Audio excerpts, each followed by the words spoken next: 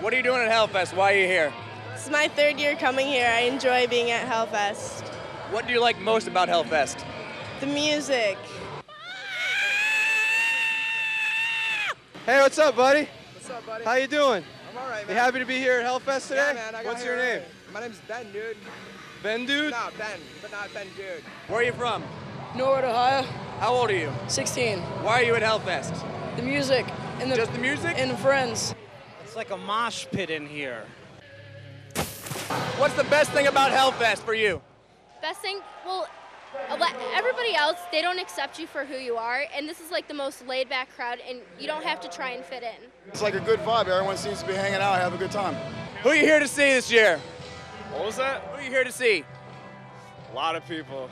So, how are you liking Hellfest? Uh, I'm really thirsty. I have no money, and I'm really hot. Just as good as it is every year, you know. I like Oh, this good, guy. I like good. this guy. I like. Guys, what's going on over here? Hellfest 2003. What's up with the shirts? Whoa, playing soccer. It's Hellfest, not World Soccer Cup or World Cup Soccer.